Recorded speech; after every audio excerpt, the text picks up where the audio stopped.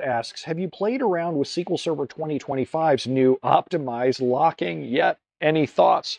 No, because when it came out, the documentation on it was so sketchy and the the examples that they used were so sketchy that I remember posting a comment. A friend of mine wrote a blog post about the feature, and I posted a comment, and I was like, uh, dude, this didn't change the query's behavior at all.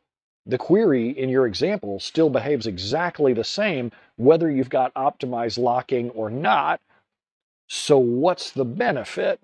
Now, since then, Microsoft has come out with additional examples that I haven't run yet uh, and better documentation that talk about it being better at the server level to, if I remember right, don't quote me on this because I only kind of glanced at it, um, uh, reducing the amount of memory required to track locks.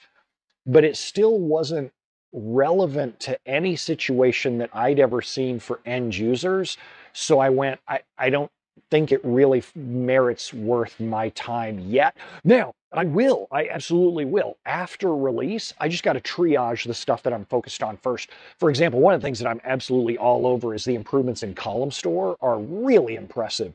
Um, so I got to ship training first on the things that are most impressive, that are going to make a big deal for you. And then the stuff that doesn't look as relevant to end user queries, I kind of hold off until later.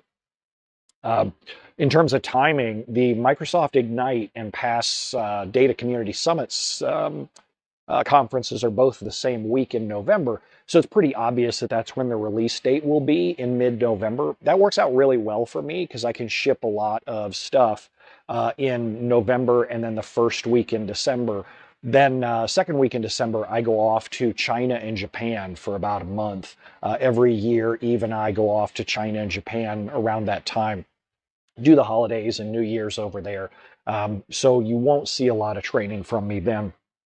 Uh, and then January, when I get back, I'll be on uh, 2025 stuff. I'm redoing all my mastering training classes uh, with 2025 stuff. I've already finished redoing the fundamental stuff. Really having a good time with that. With 2025 information.